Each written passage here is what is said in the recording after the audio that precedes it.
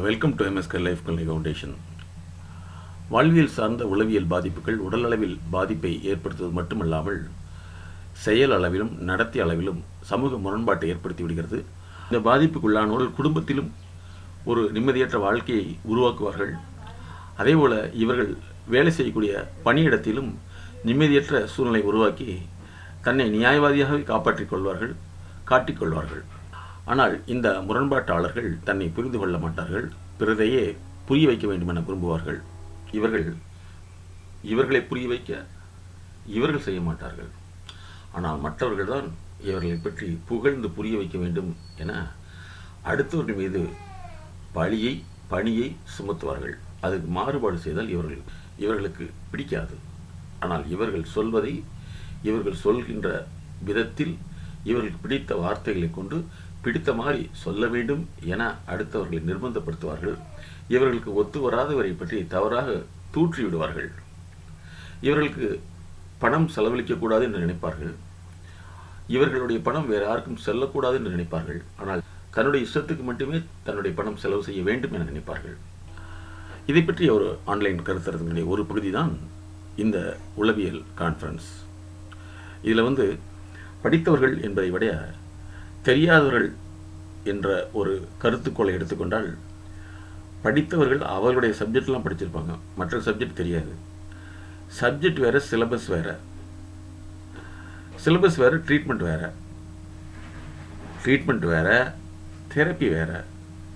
இதை பற்றிய விளக்கமான ஆன்லைன் கான்ஃபரன்ஸ் தான் இந்த MSK mind set knowledge therapeutic conference தன்னுடைய நோய் இருக்குன்னு தெரிஞ்சிக்க விரும்பாதவன் இன்னொரு நோயாளி. தனக்கு நோய் இருக்குது நான் மாத்திரக்கு விரும்பலைங்கிறது இன்னொரு நோயாளி.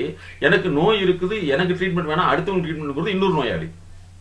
இதுல படிப்பும் பயன்படுறதில்ல வயசும் பயன்படுறதில்ல பதவியும் பயன்படுறதில்ல. இந்த நோய் வந்துச்சுன்னா எல்லாமே ஈக்குவல் தான். படிச்சவனுக்கு நோய் இல்லை படிக்காதவனுக்கு நோய் இருக்குதுன்னு சொல்ல வேண்டிய அவசியமே இல்லை. எல்லாமே ஈக்குவல் தான்.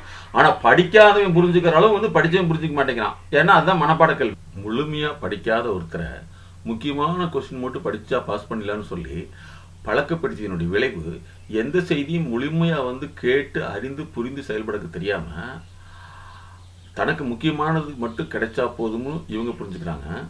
அதே மாதிரி எனக்கு முக்கியமானதை மட்டும் அவங்க புரிஞ்சிட்டுன்னு இவங்க நினைக்கிறாங்க. அதாவது இந்த புரியாமல் மனப்பாடம் செய்து நிர்பந்த அடிப்படையில் படிக்கப்பட்ட கல்வி அதனுடைய செயல்பாடு. அறிவு சார்ந்த கல்வி இல்லாம திரும்ப திரும்ப ஒரு செயலை செஞ்சு வர்றதுக்கு பேர் கல்வின்னு நினைச்சிட்டு இருக்கான். அது பழக்கம்னு தெரிய மாட்டேங்குது. அதாவது அறிந்து தெரிந்து தன்னை புதுப்பித்துக்கூடியதான் கல்வி. அறியாமையே தெரியாமையே செஞ்சுட்டு இருக்கிறது அது ஒரு பழக்கம். அது படிப்பா இருந்தாலும் அப்படித்தான். மனப்பாட கல்விங்கிறது அப்படித்தானே? சேனலை முதல் முறையாக பார்க்குறீங்கன்னா லைக் பண்ணுங்கள் சப்ஸ்கிரைப் பண்ணுங்கள் பெல் பட்டன் அமுத்துங்க மேலும் ஷேர் பண்ணுங்கள் மனம் பாதிக்கப்பட்டவங்கள வந்து ஒரு பிரிவினர் வந்து தன்னுடைய மன பாதிப்பை வந்து கேடயமாக பயன்படுத்திக்கிறாங்க. அந்த நோயிலிருந்து விடுபடுறதுக்கு விரும்புறதில்ல. அதே மாதிரி அந்த மாதிரி விடுபட சொல்கிறவங்க மேலே கோவப்படுறாங்க. இல்லைன்னா என்னுடைய பிரச்சனை யாருமே தீர்க்க முடியாது. இது இறைவன் தான் தீர்க்க முடியும் அப்படின்னு சொல்லி தப்பிச்சுக்கிறாங்க. லெக்ஸி கைமியாங்கிற ஒரு நோயை சார்ந்த ஒரு வகை. அந்த நோயாளி என்ன செய்வாங்கன்னா தன்னுடைய உணர்ச்சி இல்லை எனக்கு புரியல என்னால் உணர முடியலைன்னு சொல்லியே காலம் கடத்திட்டே இருக்காங்க. இதில் வந்து ஒரு பிரிவினர். அவங்க வந்து தன்னுடைய விருப்பத்துக்கு மாற்றமாக எது நடந்தாலும் ஏற்றுக்கொள்ளாமல் அதை வந்து முரண்பாடாகவே பார்த்து தன்னைத்தானே நொந்துக்கிறது பிறரையும் மீது நொந்துக்க வைக்கிறது. இது ஒரு வகை. இன்னொரு வகை வந்து பார்த்தீங்கன்னா இவங்க பாலியல் ரீதியில் தவறு செஞ்சுருப்பாங்க. அந்த தவறை மறைக்கிறதுக்கு மற்றவர்கள் தான் என்னை துன்புறுத்துனாங்க நான் ஒன்றும் செய்யலை அப்படின்ட்டு ஒரு வெறித்தன்மையோடு நடந்துட்டு இருப்பாங்க. இந்த மாதிரி ஆரம்ப காலத்தில் வந்து பலர் வந்து பாதிக்கப்பட்டவங்க அவங்களுடைய வெளிப்படையான நடத்தை தான் இந்த முரண்பாடுகளை அதிகமாக உருவாகிட்டு இருக்குது. இவங்க அத்தனை பேருமே பாலியல் ரீதியில் வந்து விருப்ப அடிப்படையில் பாதிக்கப்பட்டிருக்காங்க. பாலியலுடைய விரக்தி அடிப்படையில் கிடையாது. பாலியல் விருப்ப அடிப்படையில் பாதிக்கப்பட்டு அவங்க வந்து என்ன செய்கிறாங்கன்னா தன்னுடைய பிரச்சனைகளை வந்து தீர்க்க முடியாத மாதிரி காமிச்சுக்கிட்டு அதுக்குள்ளே வாழ்ந்துட்டே இருக்காங்க. அவங்க அடுத்தவங்களையும் டிஸ்டர்ப் பண்ணுறாங்க இப்போ பார்த்தீங்கன்னா ஒரு கேஸு ஒருத்தர் வந்து அவர் பாலியல் ரீதியில் வந்து பிறருக்கு பாதிப்பை ஏற்படுத்திட்டு எனக்கு முடியல எனக்கு கஷ்டமாக இருக்குது எனக்கு திருமண பந்தம் வேண்டாம் அப்படின்னு சொல்கிறாரு இது திருமணத்துக்கு முன்னாடியே வேறொரு பாலியல் பாதிப்பை அடுத்தவங்களுக்கு ஏற்படுத்திட்டு தன்னுடைய குறையை மறைக்கிறதுக்கு இப்படி சொல்கிறாரு இவங்களை ஆய்வு செய்து பார்க்கும் பொழுது இவங்க சிறு வயதிலிருந்தே இவங்க வந்து ஸ்கூலுக்கு போக மாட்டாங்க. ஒரு ஸ்கூலுக்கு போகணும்னா அதுக்கு ஏதாவது காரணங்களை சொல்லி தப்பிச்சிட்டே இருப்பாங்க. அதே மாதிரி அவங்களுடைய பொழுதுபோக்கு என்னென்னா வீட்டில் உட்காந்துட்டு டிவியோ அல்லது வீடியோவையோ அல்லது வீடியோ கேமையோ பார்த்துட்டே உட்கார்றது தான் இப்போ திருமண வயது வந்த பின்னாடி வந்து பெற்றோர்கள் வந்து வேலைக்கு போகணும்னு சொல்கிறக்கூடிய ஒரு சில பெற்றோர்கள் இருக்காங்க. இன்னும் ஒரு சில பெற்றோர்கள் வந்து அவனுக்கு உடல் சரியில்லை அதனால தான் இப்படி இருக்குன்னு சொல்லி காலம் தாழ்த்திட்டு போகிறவங்களும் பெற்றோர்களும் இருக்காங்க. அப்போ டோட்டல் பாதிப்பு யாருன்னா குழந்தைகளுக்கு சப்போர்ட் பண்ணுறங்கிற பேரில் வந்து குழந்தைகளுடைய தவறுகளையே வந்து சரின்னு சொல்லிட்டு இருக்கிறவங்கனால தான் பெரும்பாலான சமூக சிக்கல்கள் உருவாகுது.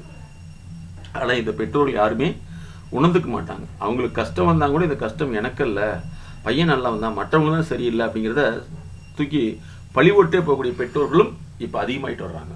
இப்போ நாங்கள் பார்க்குறது என்ன சார் இந்த மாதிரி வந்து நிறைய பேர் தன்னுடைய நோயை வந்து ஒரு கேடயமாக பயன்படுத்திடுறாங்க தவிர அதுலேருந்து வர்றதுக்கு விரும்புறதில்ல. இதனால என்னன்னா இவங்க இருந்துட்டு போனாலும் பரவாயில்ல அடுத்தவங்களை டிஸ்டர்ப் பண்ணுறாங்க இப்போ வந்து ஒரு பேரண்ட்ஸாக இருக்கட்டும் அல்லது வந்து ஈவன் ஹஸ்பண்ட் ஒய்ஃப் ஒய்ஃபாக கூட பரவ இருக்காங்க. ஹஸ்பண்ட் வந்து அந்த பிரச்சனை இருக்குது அந்த நோய்க்கு நான் நல்லா தான் இருக்கேன் நானே ஆயிரம் பேத்துக்கு அட்வைஸ் பண்ணுறேன் நான் எதுக்குங்கிறாங்க. அதே மாதிரி ஒய்ஃப் என்ன செய்கிறாங்க எனக்கே எல்லாமே தெரியுங்களா அப்படின்ட்டு இருக்காங்க. இது எல்லாமே தெரியுங்கிறது ஒரு மனநோய்ங்கிறது அவங்களுக்கு தெரிய மாட்டேங்குது. அதனால் வந்து இந்த நோயை பெருசுபடுத்திட்டு தன்னை வந்து பாதுகாத்துக்கிற ஒரு நோய் இப்போ உருவாகிட்டு இருக்கு சார்.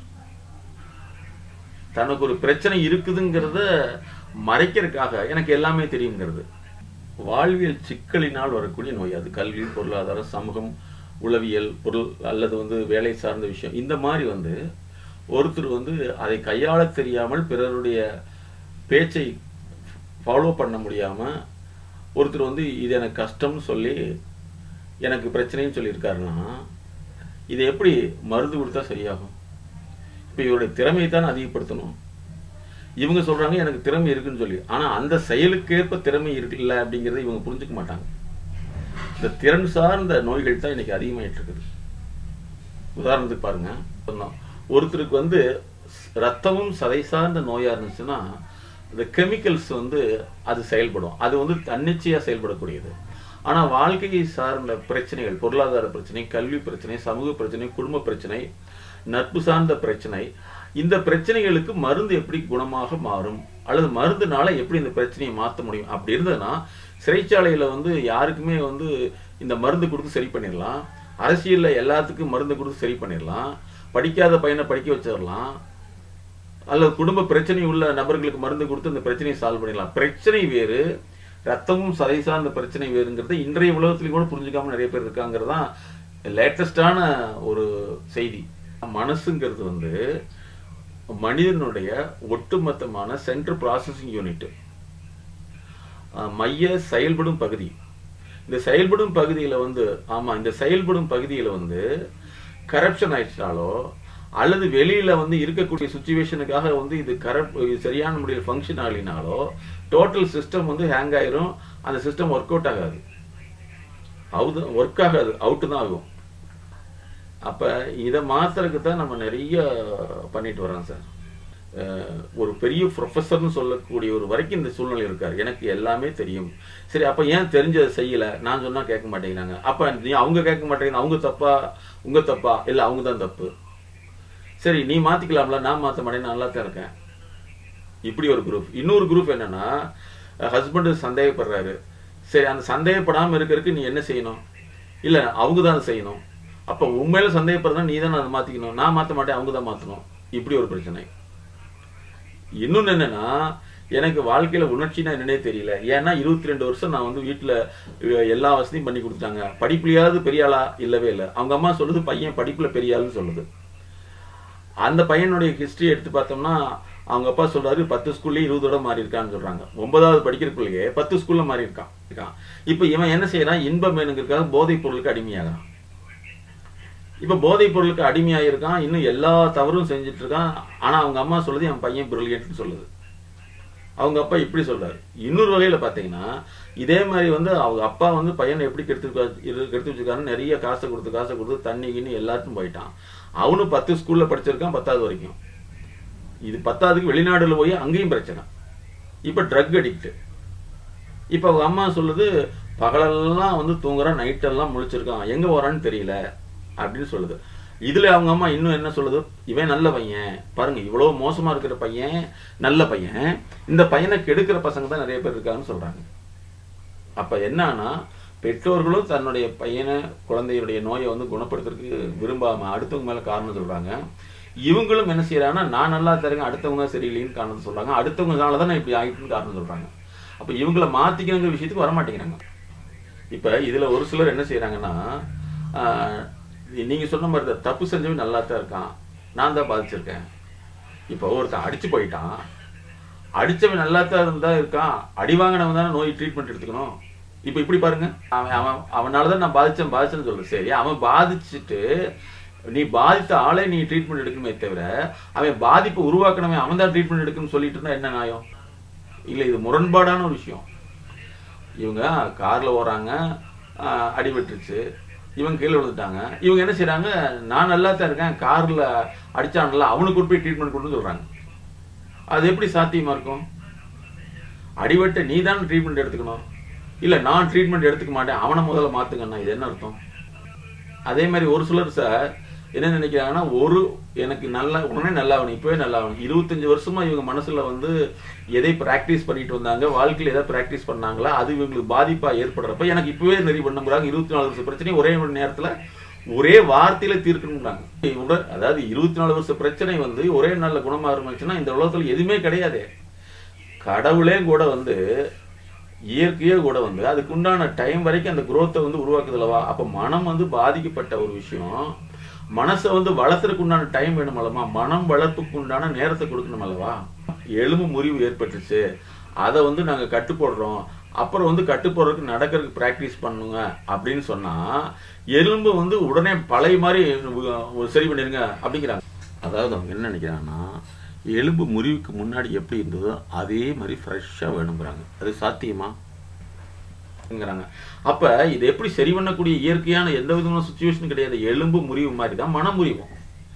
மனசு முறிவு ஏற்பட்டுச்சுன்னா அதை வந்து ஒட்ட வச்சு சீர்படுத்துறதுக்குண்டான காலமும் அதுக்குண்டான ப்ராக்டிஸும் நாங்க கொடுக்குறத செய்யணும். அதை விட்டு போட்டு என்னுடைய ஒழும்பை முடிச்சவன் நல்லா இருக்கான் அவன்லாம் நல்லா இருக்கான் அவனுக்கு ஏன் நீங்க ட்ரீட்மெண்ட் கொடுக்கலன்னு கேட்டால் எப்படி முடியும்? பாதிக்கப்பட்டது நீ தானே உனக்கு தானே ட்ரீட்மெண்ட் வேணும். ஒருத்தர் கேட்குறாரு சார் எனக்கு வந்து பிரச்சனை ஆயிடுச்சு பிரச்சனை யார் உருவாக்குறாங்கன்னா ஒய்ஃப் உருவாக்குறாங்க. அந்த தான் ஒய்ஃப் அடிக்கிறேன். அப்போ ஒய்ஃப்க்கு ட்ரீட்மெண்ட் கொடுங்க. இது என்ன நியாயம்? இப்போ நான் கேட்குற கேள்வி அப்படின்னா ஒருத்தர் வந்து அடிச்சு போட்டாருன்னு வச்சுங்களேன். இவர் திருப்பி அடிச்சா போலீஸ்காரன் கேட்பாரு திருப்பி அடிச்சது நீயே அடிச்சு நீ வந்து அவர் அடிச்சாருந்தானே எங்கிட்ட சொல்லணும் தானே சொல்லுவாங்க. இல்லைங்களா? இவர் திருப்பி அடிச்சு போட்டு அவங்களுக்கு ட்ரீட்மெண்ட் கொடுக்குறாரு. இதுல வந்து ஒரு ப்ரொஃபசர் அப்ப இவர் எப்படி புத்தி இருக்கும்? ஸ்டூடெண்ட் இவங்க சொன்ன மாதிரி கேட்கணும். அதே மாதிரி ஃபேமிலி சொன்ன மாதிரி கேட்கணும். சமூகம் சொன்ன மாதிரி கேட்கணும். அப்பா அம்மா சொன்ன மாதிரி கேட்கணும். நண்பர்கள் சொன்ன மாதிரி கேட்கணும். அப்போ இவங்களுடைய இவங்க வந்து தான் கரெக்ட்டுங்கிறதுலயே கரெக்டாக இருக்காங்க. ஆனால் இவங்க கரெக்டாக இல்லைங்கிறது இவங்களுக்கு தெரியாது. இதுதான் மனநோய் தான் சார். மனநோய்ங்கிறது எல்லாமே வந்து I am correct there are not correct ஆமாம் I am correct there not correct சரியா? அவங்கள வந்து கரெக்ட் பண்ணுறதுக்கு நீ கொஞ்சம் முயற்சி எடுக்கணும்னா அது எடுக்க மாட்டேன். அவங்கள சரி பண்ணி கொண்டு கொடுங்க. அதாவது என்னன்னா இவங்களை இவங்கள கோபத்தை தூண்டுறாங்களாமா? இவங்க அடிச்சு போடுவாங்களாமா? அடித்த பின்னாடி வந்து அவங்க அழுகக்கூடாதான். ஆனால் அவங்க அவங்க தோன்றினவங்க வந்து ட்ரீட்மெண்ட் எடுத்துக்கணுமாமா? அடித்தவர் நான் கரெக்ட் தாங்கிறார். இது போலீஸில் சொன்னால் ஒத்துக்குவாங்களா? நீ அடிச்சு இல்லை நீ ஏன் உன்னை யார் அடிக்கிறது ரைட்ஸ் கொடுத்தாங்க? அவங்க அடிச்சா எங்க எடுத்தானே சொல்லணும்? இல்லைங்களா சார் இந்த ஆர்கியூமெண்ட் தான் சார் இப்போ நிறைய இவங்களுக்குள்ள பண்ணி சுய மன நோயாளிகளா மாறி மூளை நோயாளியா மாறிட்டு இருக்காங்க. மனநோய் போய் மூளை நோய்க்கு வந்துருச்சு. அதுதான் பைத்தியம்.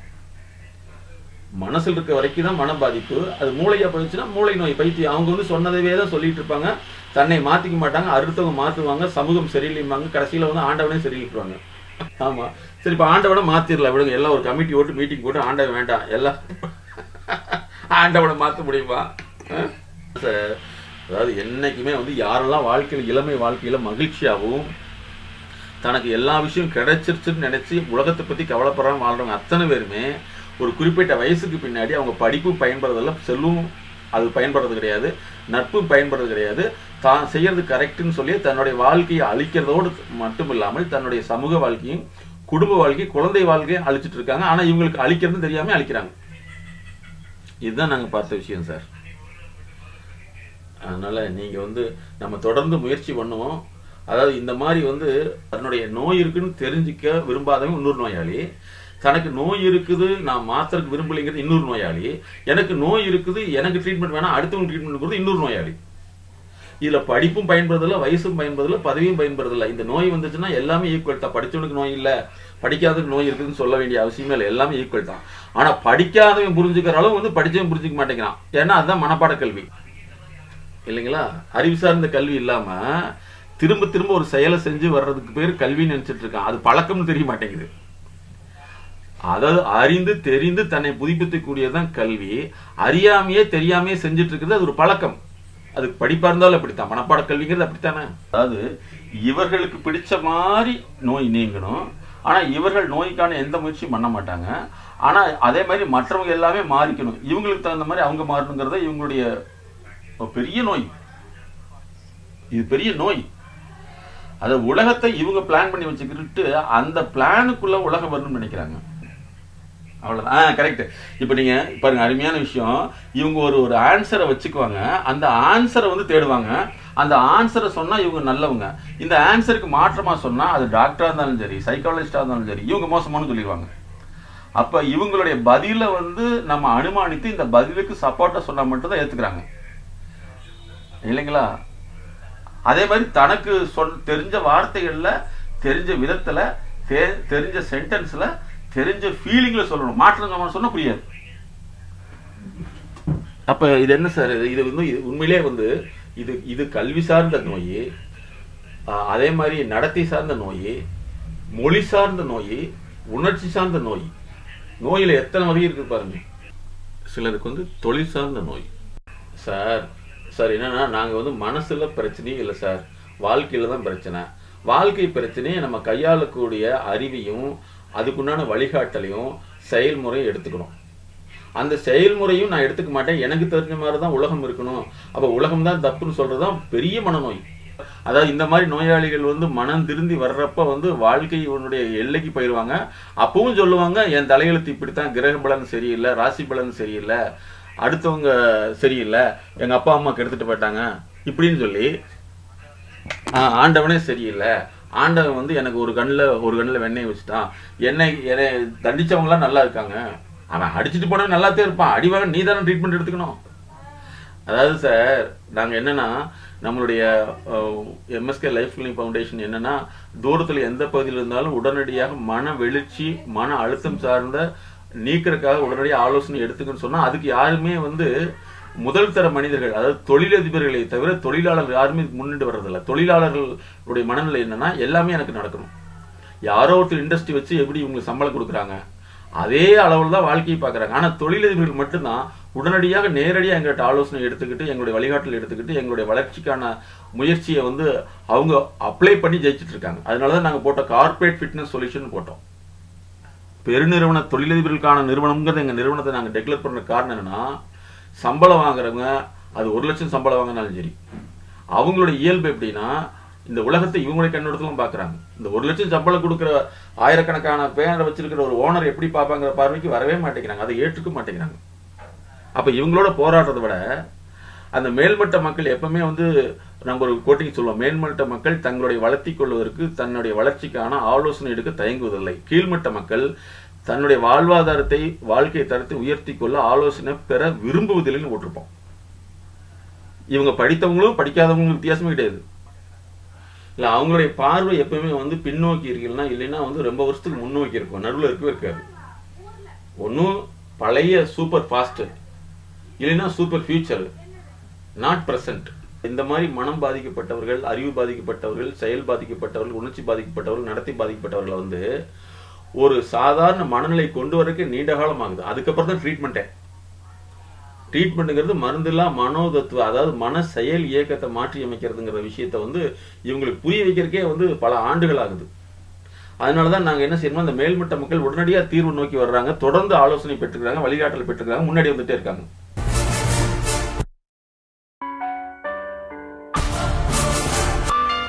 சொல்ல முடியாத அழுத்த நினைவுகள் அடக்க முடியாத அழுகை கட்டுப்படுத்த முடியாத கோபம் தாங்க முடியாத கஷ்டம் தன்னை யாரும் புரிந்து கொள்வதில்லை என்ற ஏக்கம் அதிகமான பயம் தூக்கமின்மை உடல் சார்ந்த வலி.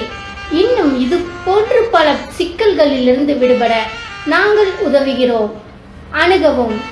உளவியல் முதல் உதவிக்கு எம்எஸ்கே ஜஸ்ட் கால் தொண்ணூற்றி மூணு அறுநூத்தி ரெண்டு ஐம்பத்தி மூணு தொள்ளாயிரத்தி முப்பது எம்எஸ்கே லைஃப் கிளினிக் ஃபவுண்டேஷன்